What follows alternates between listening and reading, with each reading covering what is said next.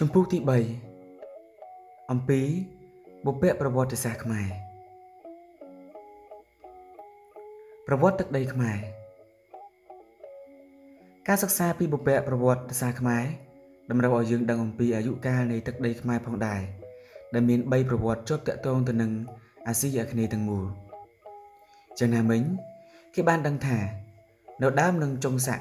ទី1ភូមិភាគអាស៊ីអាគ្នេយ៍បានពើប្រទះទៅនឹង ផ្នត់កាឡេឡូយើង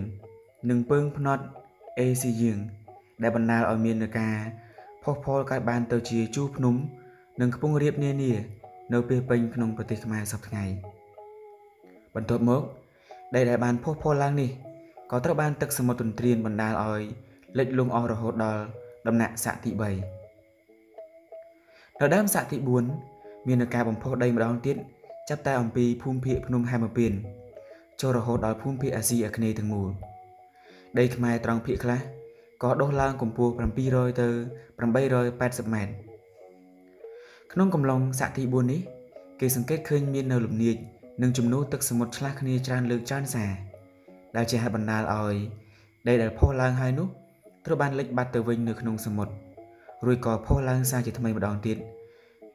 នៅចន្លោះនៅក្នុងឆ្នាំ60000 ដល់15000មុនគ្រិស្តសករាជទឹកសមុទ្រត្រូវបាននាយថយចុះទៅចន្លោះពី130ដល់180ម៉ែត្របើប្រៀបធៀបទៅនឹងកម្ពស់នីវ៉ូទឹកសមុទ្រសប្តាហ៍ថ្ងៃភូគប់វិទូខ្លះបានពន្យល់ថាដោយអាស្រ័យនៅហេតុខាងលើនេះ បានជាកាលនោះភូមិភាគឥណ្ឌូចិននឹងប្រជុំកោះអង្គស៊ុយឡាំងស្ថិតនៅជាប់គ្នារហូតដល់គ្មាននៅសមុទ្រខណ្ឌដូចយើងបានឃើញសពថ្ងៃនេះ នៅប្រមាណជា15000ឆ្នាំមុនគ្រិស្តសករាជទឹកសមុទ្របានជួរឡើងកម្ពស់15ម៉ែត្រដែលជាហេតុបណ្ដាលឲ្យទឹកដីខ្មែរក្រោមព្រមទាំងវាលទំនាបប្រទេសខ្មែរបច្ចុប្បន្នខ្លះបានលិចបាត់ទៅក្នុងទឹកវិញក្នុងសតវត្សទី3មុនគ្រិស្តសករាជទឹកសមុទ្រក៏បាននេកបន្តិចម្ដងបន្តិចម្ដងទៅវិញឯទន្លេមេគង្គក៏បាននាំយកនៅដីល្បប់មកចាក់បង្កើតបានទៅជាដីសណ្ដ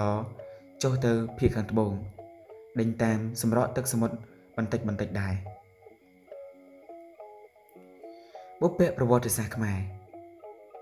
តើទឹកដីខ្មែរដែលមានប្រវត្តិដូចបានរៀបរាប់ខាងលើនេះមានមនុស្សមករស់នៅចាប់តាំងតែអំពីពេលណា ហើយការរស់នៅក្នុងសម័យដើមនោះ មានលក្ខណៈដូចម្តេចខ្លះកស្ថានីយ៍បុព្វប្រវត្តិសាស្ត្រចំពោះបញ្ហានេះបុព្វប្រវត្តិវិទូបានពោលថាបុព្វប្រវត្តិសាស្ត្រខ្មែរមិនទាន់មានលក្ខណៈច្បាស់លាស់ព្រោះថាការស្រាវជ្រាវនៅក្នុងវិស័យនេះ មិនទាន់បានធ្វើឲ្យបានដិតដល់នៅឡើយចំពោះយុគថ្មបំបែកគេទើបតែរកឃើញនៅដានខ្លះៗតែប៉ុណ្ណោះនៅឆ្នាំ1963លោកអ៊ីស៊ូរិនបានរកឃើញដុំថ្មចាំងនៅក្នុងទន្លេមេគង្គនៅចន្លោះនៅក្នុងខេត្តស្ទឹងត្រែងនិងខេត្តក្រចេះក្រៅពីនេះ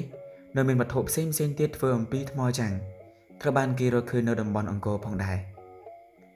ស្ថានីយ៍ឯទៀតឯទៀត ដែលគេបានរកឃើញរហូតមកដល់នឹងសប្តាហ៍ថ្ងៃនេះមានចំនួន6ហើយសុទ្ធតែជាស្ថានីយ៍ដែលតាក់ទងទៅនឹងយុគថ្មរំលីងលាយនឹងលោហៈធាតុ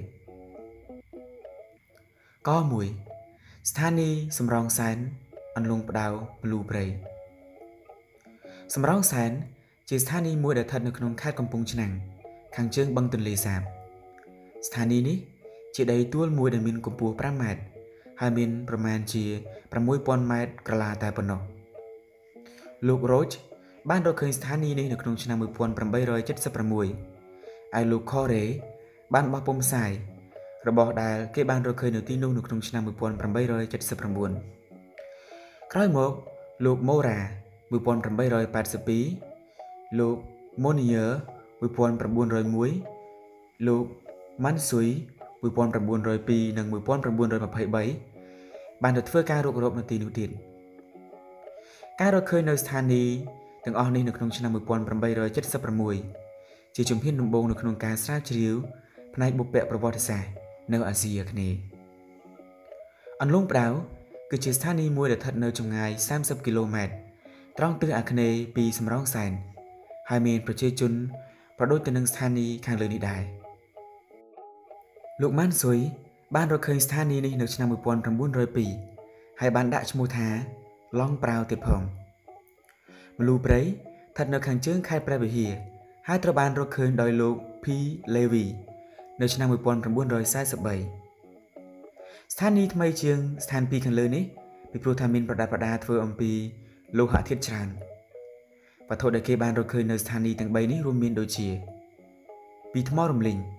ពូថៅដែលមានពន្លួញពន្លៀកញញួរថ្មងដំសម្បកសរសៃទ្រនាប់កំបិតកណ្ដៀវថ្មសំលៀងពុំចាក់កណ្ដៀវក្បាលត្រល់អង្រែផ្លែសន្ទូច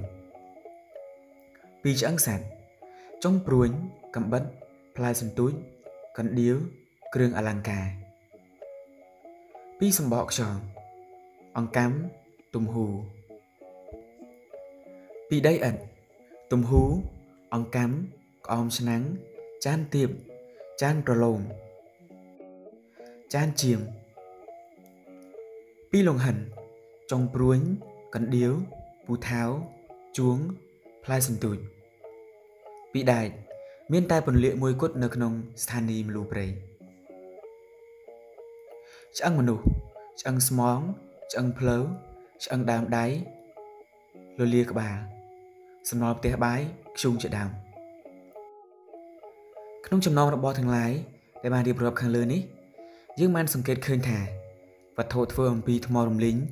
បាននៅលាយឡំជាមួយនឹងវត្ថុធ្វើអំពីលោហៈធាតុដូច្នេះយើងអាចសន្និដ្ឋានបានថានៅប្រទេសខ្មែរយើងពុំមានព្រំដែនឲ្យបានច្បាស់លាស់នៅរវាងយុគថ្ម និងយុគលោហៈនោះទេឯរបស់ដែលធ្វើអំពីដែកមានតែមួយគត់គឺពន្លាកនៅមលូព្រៃត្រង់នេះ សោះឲ្យឃើញថាមនុស្សបុព្វប្រវត្តិសាស្ត្រប្រហែលជាមិនទាន់ចេះស្លោដែកនៅឡើយទេ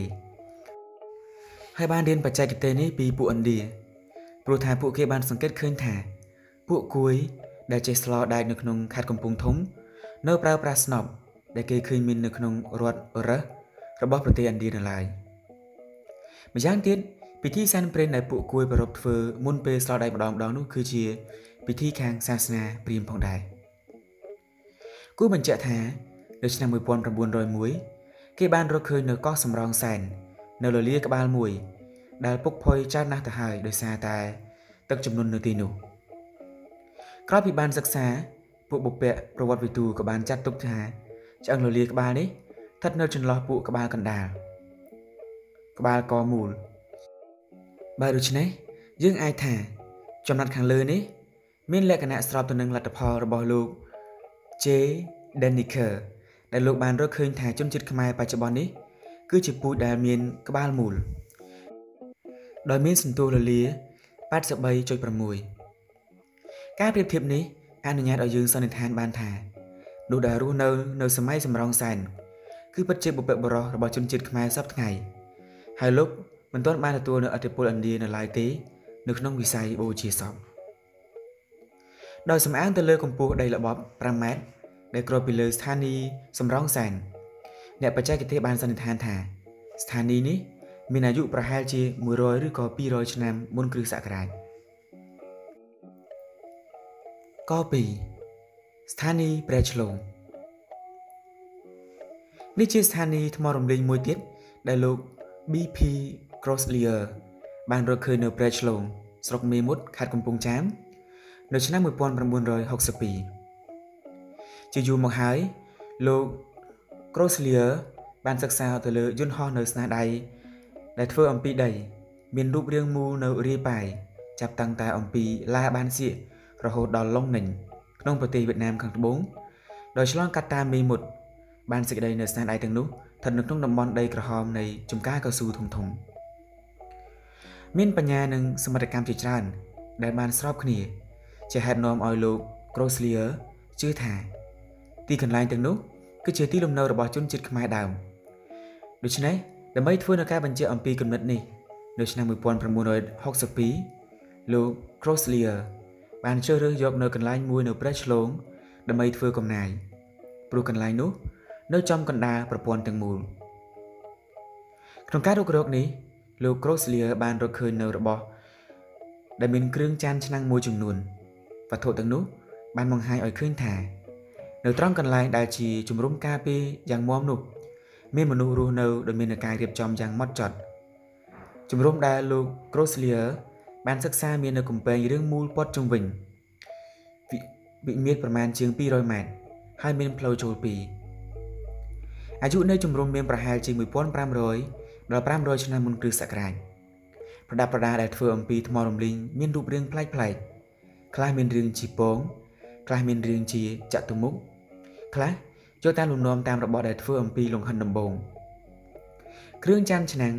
មានរាងច្រើនបែបយ៉ាងហើយចានក្បាច់រចនាល្អវិចិត្រប៉ុន្តែក្រោយមកបែរជាមានសភាពក្រូតគ្រៀតគ្មានលម្អអ្វីសោះវត្ថុទាំងអស់នេះគេចាត់ទុកថាជាស្នាដៃរបស់ជនជាតិខ្មែរដើមមុនពេលដែលជនជាតិនេះចុះមករស់នៅត្រង់វាលទំនាបនៃទន្លេមេគង្គនិងមុនពេលដែល ទទួលនៅអរិយធម៌ឥណ្ឌាក3ស្ថានីយ៍លាអាងស្ពានពីឆ្នាំ1966ដល់1969លោកនិងលោកស្រី Morer សាស្ត្រាចារ្យនៅមហាវិទ្យាល័យបុរាណវត្ថុវិទ្យាដែលមាននិស្សិតនៃមហាវិទ្យាល័យនេះបានចូលរួមផង បានធ្វើនៅកំណាយនៅរូងភ្នំលាងស្ពាននៃភ្នំ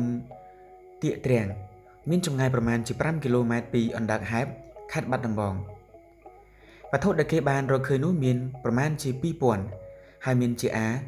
ដូចជាគ្រឿងប្រដាប់ធ្វើអំពីថ្មសំណល់ផ្ទះបាយសាកសពសត្វល្អិតចំណែកនៃគ្រឿងចានឆ្នាំងសត្វល្អិតនិងឆ្អឹងមនុស្សឆ្អឹងដើមដៃនិងឆ្អឹងដងកំបិតវត្ថុទាំងនេះត្រូវបានគេផ្ញើទៅប្រទេសបារាំងដើម្បីធ្វើការសិក្សាដុំធ្យូងជាច្រើន ដែលគេរកឃើញនៅក្នុងស្រទាប់លើអនុញ្ញាតឲ្យគេចុះនៅការកំណត់ដោយប្រើនៅធាតុវិទ្យុសកម្ម J14 ស្រទាប់ទី1 750ឆ្នាំក្រោយគ្រិស្តសករាជ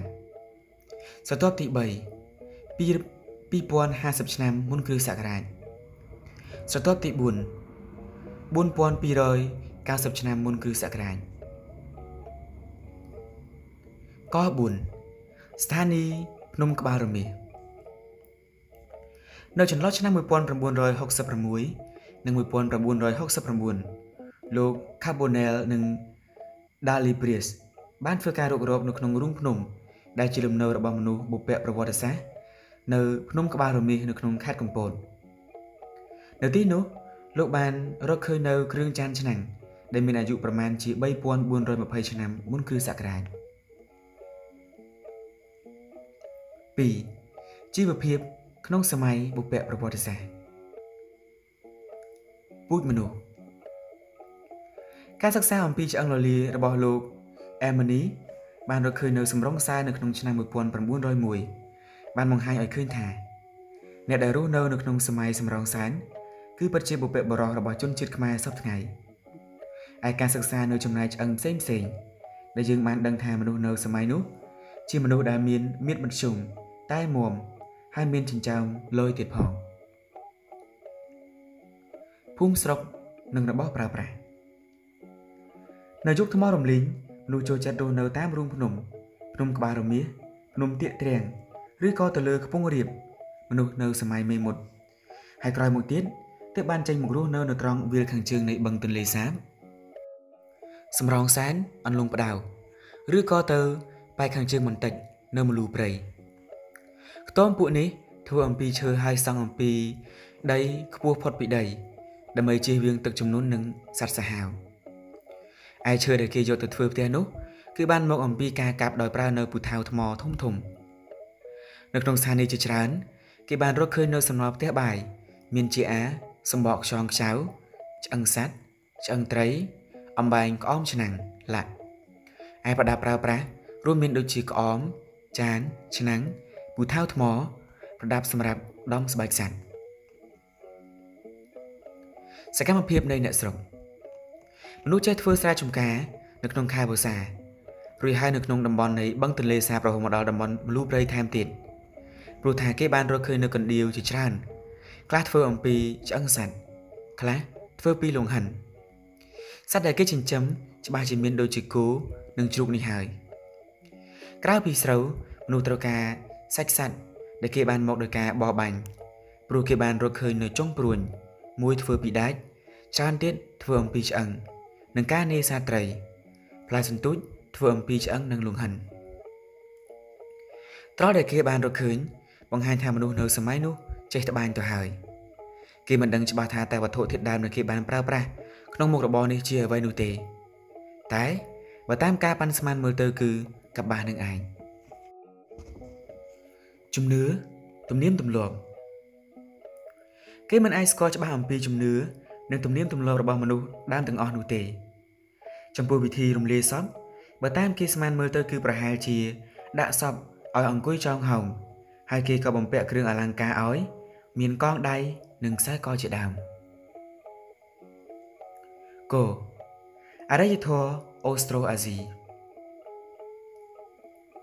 ការសិក្សាអំពីជីវភាពមនុស្សនៅក្នុងសម័យបុព្វប្រវត្តិខាងលើបានបង្ហាញឲ្យឃើញថាជីវភាពនេះមានលក្ខណៈជាអរិយធម៌អូស្ត្រូអាស៊ីតើអ្វីដែលហៅថាអូស្ត្រូអាស៊ីហើយអរិយធម៌នេះតើមានគោលសំខាន់អ្វីខ្លះក្នុងកាលដ៏យូរលង់មកហើយនោះមុនការមកដល់នៃជនជាតិចិននិងជនជាតិឥណ្ឌាអាស៊ីអាគ្នេយ៍បានស្គាល់នៅអរិយធម៌ដ៏ពិសេសមួយបែបតាមពិត អរិយធម៌នេះបានលាតសន្ធឹងពីអាស៊ីខាងត្បូងចាប់ពីប្រទេសឥណ្ឌារហូតដល់ Novel Guinea ដោយរាប់បញ្ចូលទាំងប្រទេសចិនខាងត្បូងផងដែរចាប់ពីទន្លេយ៉ងសេចុះមកក្រោមដោយហេតុតែអរិយធម៌ទាំងនោះមានលក្ខណៈដូចគ្នាច្រើន គេក៏ឲ្យឈ្មោះថាជាអរិយធម៌អាស៊ីខាងត្បូងអូស្ត្រូអាស៊ីឬក៏អរិយធម៌ខ្យល់រដូវចឹងណាមិញលោក AM Hokan និងលោក Pimers បានសង្កេតឃើញថាមានភាពដូចគ្នានៅក្នុងជំនឿមូលដ្ឋាននិងក្នុងពិធីដ៏សំខាន់សំខាន់នៅក្នុងភូមិភាគខ្យល់រដូវទាំងមូលគេមិនទាន់ដឹងច្បាស់នៅអរិយធម៌នេះហូរចេញមកអំពីមជ្ឈមណ្ឌលណាមួយទេចំពោះរឿងនេះ មាននៅសន្មតពីរយ៉ាងគឺអ្នកខ្លះយល់ថាប្រហែលជាមានអំបូរមនុស្សមួយឬក៏ច្រើន ដែលមាននៅឫសគល់នៅឥណ្ឌូចិនឬក៏នៅលើកោះដែលបានហូរចូលទៅក្នុងប្រទេសឥណ្ឌា មុនការហូរចូលរបស់ពួកអារ្យ័នខ្លះទៀតយល់ផ្ទុយទៅវិញថា ពួកទ្រាវិតឬក៏ពួកអារ្យៈដែលចូលមកលុកលុយនៅប្រទេសឥណ្ឌាតាមទិសពាយ័ព្យបានរុញច្រានពួកគេ ដែលជាអ្នកស្រុកដើមនោះឲ្យទៅប៉ែកខាងត្បូងឬក៏ទៅប៉ែកខាងកើតហើយក៏បានធ្វើដំណើរទៅកាន់ឥណ្ឌូចិន និងប្រជុំកោះអ៊ីនស៊ូលីនទោះបីជាមានប្រភពពីណាក៏ដោយយើងអាចនឹងបញ្ជាក់បាននូវគោលដ៏សំខាន់សំខាន់ នៃអរិយធម៌ទាំងមូលរបស់អូស្ត្រូអាស៊ីបានដូចតទៅ1ក្នុងវិស័យសម្ភារៈចេះធ្វើស្រែវស្សាចេះបញ្ចូលទឹកក្នុងស្រែចេះប្រើគោក្របីនិងធ្វើប្រដាប់សម្រាប់ធ្វើស្រែចម្ការចេះស្លលោហៈធាតុស្ទាត់ជំនាញនៅក្នុងនិវាចរអរិយធម៌នេះត្រូវបានគេផ្សព្វផ្សាយតទៅដល់កោះ Madagascar ហើយអ្នកខ្លះថារហូតទៅដល់ប្រជុំកោះជប៉ុនថែមទៀតព្រោះថាទំនាក់ទំនងនេះគេសំអាងទៅលើប្រដាប់ប្រដាពីសម័យបុព្វប្រវត្តិសាស្ត្រលើភាសានិងរបាំប្រពៃណីគេយល់ថាហេតុដែលនាំឲ្យអរិយធម៌នេះត្រូវបានផ្សព្វផ្សាយទៅឆ្ងាយដូច្នេះព្រោះតែមនុស្សនៅចំនួននេះចេះទាញយកនូវផលប្រយោជន៍អំពីភាពឆ្លាស់គ្នានៃខ្យល់រដូវ2ក្នុងវិស័យសង្គមគិច្ចក្នុងវិស័យនេះ មានការទុកស្រីជាធំនៅក្នុងគ្រួសារនិងក្នុងសង្គមក៏ដូចជាការរាប់អាននៅញាតិតាមរយៈខ្សែស្រឡាយខាងខាងម្ដាយចំពោះខ្មែរយើងគោលសំខាន់ខាងលើនេះតែងតែត្រូវបានបញ្ចូលនៅដានដ៏ជាក់លាក់តាំងតែអំពីដើមរហូតមកទល់នឹងសពថ្ងៃចឹងណាមិញរឿងព្រេងដែលតកតងទៅនឹងការបង្កើតនៅបឋមវង្សហើយដែលអ្នកប្រវត្តិសាស្ត្រចិនបានកត់ត្រាទុកហ៊ុនទៀននិងនាងលីវយីបានបង្ហាញថា អ្នកដឹកនាំខ្មែរនៅក្នុងសម័យដើមនោះ មានភេទជាស្ត្រីឯកសារសិលាចារឹកបានឲ្យយើងបាន មានព័ត៌មានថា នៅសម័យអង្គរស្រីមានអំណាចទុកដាក់ចែកចាយនៅទ្រព្យសម្បត្តិនៅក្នុងគ្រួសារតាមចំណង់ចិត្តរបស់ខ្លួន ដោយមិនចាំបាច់សុំយោបល់អំពីប្តីទេ ចំណែកឯប្តីវិញបើចង់ធ្វើអំណោយត្រូវតែទទួលនឹងការយល់ព្រមពីប្រពន្ធជាមុនឬបើពុំដូច្នោះទេតើតែបញ្ជាក់ថាទ្រព្យនោះ គឺជាទ្រព្យផ្ទាល់ខ្លួនរបស់ប្តីឥតមានតាក់ទងទៅនឹងប្រពន្ធទេម្យ៉ាងទៀតការចែកនៅកេរមរតកតែងតែធ្វើតាមខ្សែស្រឡាយខាងស្រីជាដរាបការផ្ទេរងារជាព្រាមមិនត្រូវផ្ទេរពីឪពុកទៅកូនទេ តែត្រូវផ្ទេរពីឪពុកមាទៅកូនប្រុសរបស់ប្អូនស្រី ឬក៏ពីឪពុកមាទៅកូនប្រុសរបស់កូនស្រីនៃប្អូនរបស់ខ្លួនរបបចែកគេមរតកដែលចាប់យកនៅខ្សែស្រឡាយខាងម្ដាយជាធំ ត្រូវបានគេយកទៅអនុវត្តនៅក្នុងការផ្ទេររាជសម្បត្តិថែមទៀតសិលាចារឹកប្រែរូប961បានឲ្យដឹងថាព្រះបាទរាជចន្ទ្រវរ្ម័នទី2មានព្រះបិតានាមមហិន្ទ្រវរ្ម័នដែលមានដើមកំណើតនៅភវបុរៈចេនឡាដីគោកឯព្រះមេដាព្រះនាមមហិន្ទ្រទេវីជាបងបង្កើតរបស់ព្រះបាទយសោវរ្ម័នទី1ជាក្សត្រខាងសមវង្ស ដោយហេតុនេះហើយទើបទ្រង់អាចនឹងបានទទួលនៅរាជសម្បត្តិអំពីព្រះបាទហសីវរ្ម័នទី2ដែលជាក្សត្រសមវង្សនេះបានគួរសម្គាល់ថា មានរឿងព្រេងខ្មែរជាច្រើន បាននិទានអំពីការប្រកួតប្រជែងរវាងស្រីនិងប្រុសនៅក្នុងវិស័យផ្សេងផ្សេងមានដូចជាការជីកស្រះពូនភ្នំសង់ប្រាសាទជាដើមហើយទោះបីជារឿងទាំងនេះបានបញ្ជាក់ថាភេទស្រីមានន័យជ័យជំនះទៅលើភេទប្រុសក៏ដោយ ក៏សពថ្ងៃនេះសង្គមខ្មែរបានវិវត្តមកដល់ដំណាក់កាលមួយដែលភេទស្រីត្រូវបានបាត់បង់នៅឧត្តមភាពរបស់ខ្លួន ទៅលើភេទប្រុសទៅហើយក៏ប៉ុន្តែ សង្គមនេះនៅតែរក្សាដានខ្លះល្មមឲ្យយើងបានជឿនៅអធិភាពរបស់ទស្សនៈទុកស្រីជាធំនៅឡើយយ៉ាងណាមិញរបស់ឬមួយក៏មនុស្សដែលមាននូវភាពឬក៏មាននីតិជាធំចម្បងទៅលើគេឯងទៀតនេះខ្មែរយើងនៅតែហៅថាមេដូចជាមេដៃមេជើង មេដំបូលមេដែកមេទ័ពមេឃុំមេស្រុកមេកយមេការជាដើមក្នុងការស្ដីដណ្ដឹងនៅគូស្រករត្រូវប្រុសចូលទៅនិយាយសុំនៅសេចក្តីយល់ព្រមអំពីខាងស្រីលុះដល់ពេលរៀបការក៏ខ្មែរយើងតែងតែនិយមទៅនៅផ្ទះខាងស្រីទៀតហើយផតានដែលជាក់ស្ដែងជាងនេះទៀតនោះគឺពាក្យស្លោកខ្មែរមួយដែលតែងតែនិយាយថាសូវស្លាប់បាកុំអោយស្លាប់មេសូវលេចទូកណ្ដាលទន្លេ កុំអោយភ្លើងឆេះផ្ទះដោយអាងទៅលើគោលធំនៃអរិយធម៌ខ្មែរគឺការទុកស្រីជាធំនៅក្នុងគ្រួសារនិងនៅក្នុងសង្គមនេះហើយទើបយើងអាចយល់បានថាខ្មែរទំនងคล้ายមកអំពីពាក្យថាកាត់បូកជាមួយនឹងមេដោយមានការវិវត្តពាក្យដូចតទៅនេះ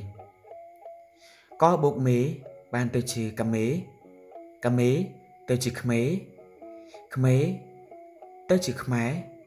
ខ្មែរ ទៅជាខ្មែរហើយនឹងខ្មែរមានរនៅខាងចុងក្នុងភាសាខ្មែរជនជាអ្នកកគឺជាបុព្វបុត្រមួយសម្រាប់ធ្វើនៅន័យរបស់ពាក្យណាមួយ ដែលមាននៅលក្ខណៈកាន់តែខ្លាំងឡើងខ្លាំងឡើងឧទាហរណ៍ថាកកាយកាយញាប់ជើងធម្មតាកកោគោញាប់ជើងធម្មតាកខឹកសាច់លឺខឹកខឹកញាប់ជើងធម្មតាមេសម្គាល់ស្ត្រី ជាម្ដាយនៅក្នុងគ្រួសារឬក៏ស្ត្រីដែលជាអ្នកដឹកនាំនៅក្នុងសង្គមក្មេបានន័យថាជាអ្នកដែលគោរពមេឬក៏ជាអ្នកដែលធ្វើឲ្យមាននៅមេលក្ខណៈកាន់តែច្បាស់ឡើងពាក្យនេះប្រើនៅក្នុងសិលាចារឹកមុននៅសម័យអង្គរដូចជានៅសិលាចារឹកប្រាសាទជន់ជុំជាដើមក្មេមកពីពាក្យថាក្មេទៀតគឺកคล้ายមកជាខពាក្យនេះមានប្រើនៅក្នុងសម័យអង្គរនៅក្នុងសិលាចារឹកប្រាសាទបន្ទាយឆ្មារជាដើម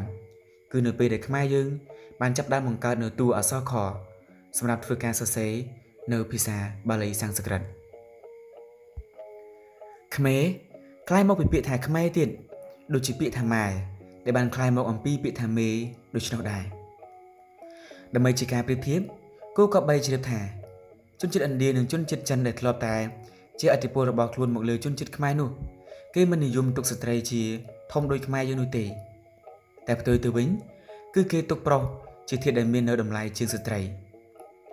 ចំពោះជនជាតិឥណ្ឌាគេដឹងថាតាំងតែអំពីព្រេងនាយមកស្រីមេម៉ាយពុំមានសិទ្ធិយកប្តីផ្សេងទៀតនោះឡើយកាលណាប្តីស្លាប់ទៅស្រីឥណ្ឌាគឺត្រូវតែទៅបម្រើគ្រួសារខាងប្តីតទៅទៀតឬមួយក៏លូតទៅក្នុងភ្លើងស្លាប់តាមប្តីដើម្បីជៀសឲ្យឆ្ងាយផុតអំពីការលំបាកវេទនានៅក្នុងការរស់នៅម្យ៉ាងទៀតពាក្យប្តីដែលคล้ายមកអំពីពាក្យថា បតិម្ចាស់ក៏នឹងក៏នឹងបង្ហាញឲ្យឃើញថាជនជាតិឥណ្ឌាមាននៅទស្សនៈខុសឆ្ងាយអំពីខ្មែរណាស់ចំណែកឯនៅក្នុងសង្គមចិនវិញគេឃើញមាននៅការគោរពបូជាដូនតា ក្នុងគ្រួសារនីមួយៗគឺប្តីគឺជាអ្នកដែលមានមុខងារសំខាន់នៅក្នុងការទទួលខុសត្រូវធ្វើយ៉ាងណាឲ្យការគោរពបូជានេះអាចប្រព្រឹត្តទៅបានដោយគ្មានឧបសគ្គបើឪពុកស្លាប់ទៅ គឺកូនប្រុសច្បងនេះហើយ ដែលត្រូវតែទទួលនៅតំណែងសំខាន់ខាងលើជំនួសឪពុកឯកូនស្រីគ្មាននីតិអ្វីបន្តិចបន្តួចសោះនៅក្នុងបន្ទុកនេះហេតុនេះហើយបានជាជនជាតិចិនមិនឲ្យតម្លៃអ្វីទៅលើកូនស្រីទេតែកាលណារៀបការហើយគេតែងតែបញ្ជូនឲ្យទៅនៅខាងគ្រួសារខាងប្រុសបើកាលណាប្តីស្លាប់ត្រូវនៅបម្រើគ្រួសារខាងប្តីតទៅតាមទម្លាប់ចិនបើមិនទាន់មានប្តីត្រូវស្ដាប់បង្គាប់ឪពុកបើមានប្តី ត្រូវស្ដាប់បង្គាប់ប្តីហើយបើផុតពីប្តីទៅគឺត្រូវតែស្ដាប់បង្គាប់បងប្រុសគួរក៏សម្គាល់ម្យ៉ាងទៀតថា ជនចិត្តចិននិយមតែឲ្យតម្លៃទៅលើញាតិខាងឪពុកឧទាហរណ៍ដូចជាជីដូនជីតាខាងឪពុក គេហៅថាជីដូនជីតាក្នុងឯជីដូនជីតាខាងម្ដាយគេហៅថាជីដូនជីតាខាងក្រៅក្នុង គឺក្នុងរង្វង់គ្រួសារក្រៅគឺក្រៅរង្វង់គ្រួសារគេមិនសូវរាប់រកទេ 3ក្នុងវិស័យជំនឿមនុស្សជាន់ដើមជឿថានៅពេលមនុស្សស្លាប់ទៅគឺមិនសូន្យទេ គឺមានព្រលឹងទៅចាប់ជាតិថ្មីទៀតពួកខ្មែរលើដែលរស់នៅទៅលើខ្ពង់រាបសពថ្ងៃនេះក៏នៅតែមាននៅជំនឿបែបនេះដែរពួកនេះបានចែកព្រលឹងទៅជា3ប្រភេទគឺព្រលឹងធំ ដែលចេញអំពីខ្លួនមនុស្ស6ខែមុនពេលស្លាប់ព្រលឹងតូចចេញទៅនៅពេលស្លាប់ និងព្រលឹងខ្លះទៀតស្លាប់6ខែហើយ ក៏ទើបព្រមចេញដល់កាលណាមនុស្សស្លាប់ទៅហើយនោះគេនឹងយកសាកសពទៅកប់ហើយយកនៅគ្រឿងប្រដាប់ដែលបរោះនោះធ្លាប់ប្រើយកទៅកប់ទៅជាមួយដែរដើម្បីទុកឲ្យប្រើប្រាស់តទៅទៀតនៅស្រុកខ្មែរយើងសម័យឥឡូវតែកាលណាមានមនុស្សស្លាប់គេតែងតែរៀបចំនៅគ្រឿងបន្លងប្រគេនចំពោះព្រះសង្ឃដើម្បីធ្វើការបញ្ជូនឲ្យអ្នកស្លាប់ផងដែរ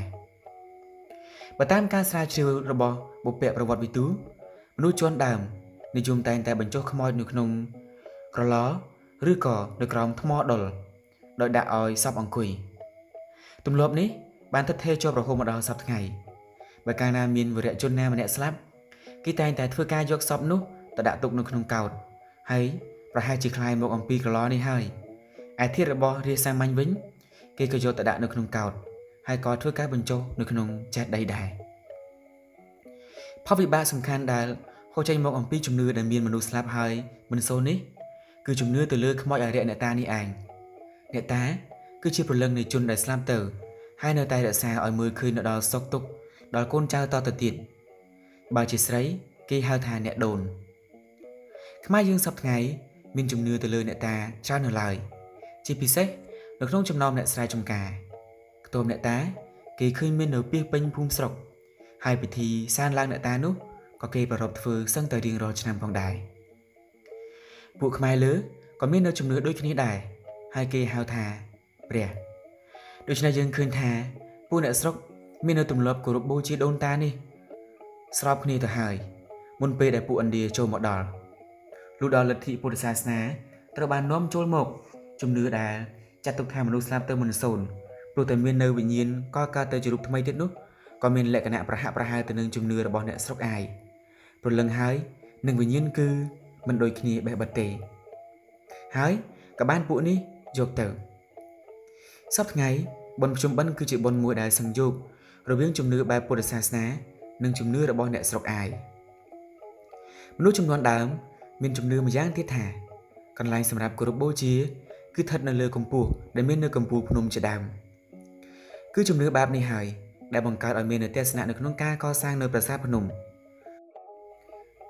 អេតណូវីទូខ្លះដូចជាលោក Queer Chess Wells បានពន្យល់ថាប្រាសាទភ្នំគឺជាតំណាងនៃនៃភ្នំឯលឹងតម្កល់នៅក្នុងប្រាសាទនោះគឺជាតំណាងរបស់អង្គអ្នកតានេះឯងជំនឿមួយទៀតរបស់អ្នកស្រុកដើមដែលគួរឲ្យកត់សម្គាល់ផងដែរនោះគឺការគោរពទៅលើទេវតាដីព្រោះដី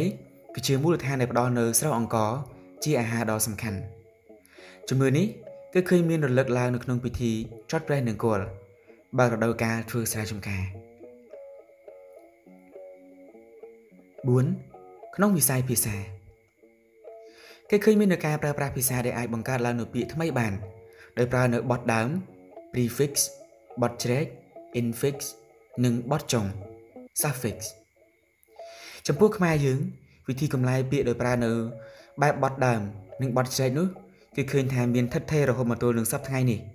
ហើយប្រកបទៅដោយក្បួនខ្នាតយ៉ាងច្បាស់លាស់ណាស់ម្យ៉ាងទៀត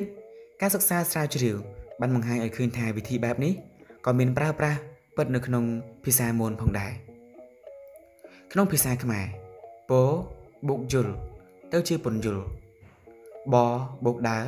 ទៅជាបណ្ដើរគិតទៅជាគំនិត កាយកំណាយនៅក្នុងភាសាមូនកេតវិល ទៅជាបកេតកើទៅជាពកើ